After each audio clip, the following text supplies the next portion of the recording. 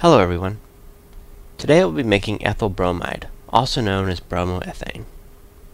To start this reaction you will need the following reactants. 140 grams of sodium bromide. I got mine from Home Depot in the pool section. Here's what the package looks like. You'll also need 160 milliliters of sulfuric acid, mine is the plumbing variety. Next, 148 milliliters of ethanol, or in this case Everclear. And last, you'll need 100 milliliters of water. Now I need to set up to add the sulfuric acid to the ethanol and do so without heating it up. I place a large bowl of ice on top of a homemade magnetic stir.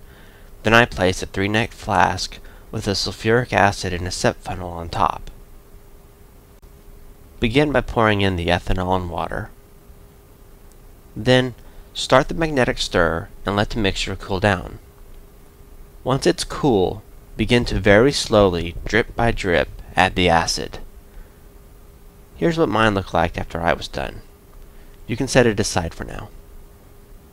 Now I need to set up for distillation. Here's how I set mine up. First, get a sturdy stand with a strong clamp. Next, place in your heating mantle.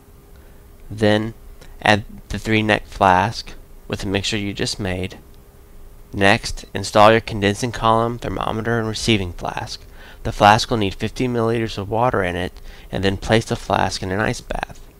The water will keep the ethyl bromide cold and keep it from vaporizing since it will sink below the water.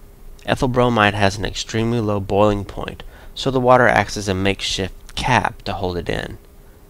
And last, set up the optional overhead mixer. Now turn up the heat, start the mixer, and slowly add the sodium bromide.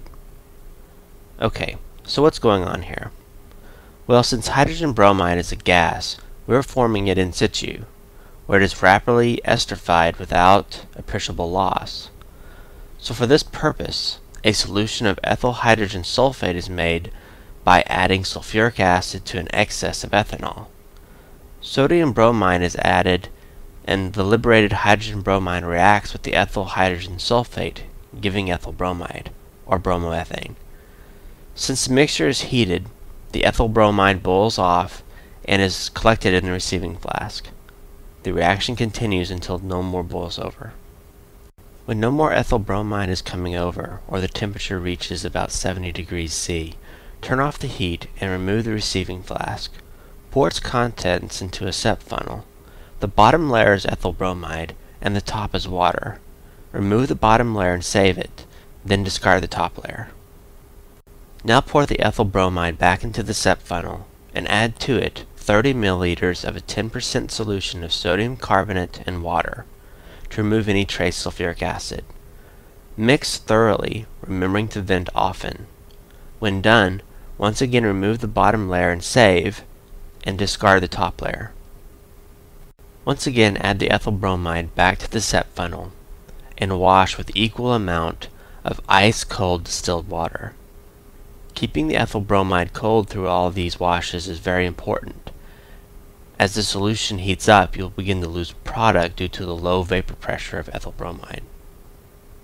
After thoroughly washing with water, drain the bottom layer into a flask and add about 5 grams of calcium chloride to it.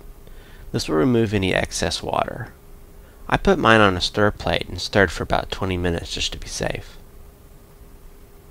Finally, pour your dry ethyl bromide in a bottle and screw on the cap airtight.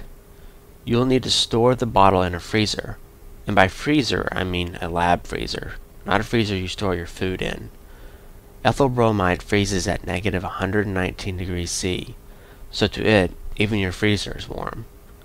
We'll be using what we make here in the future. Until the next video, thanks for watching.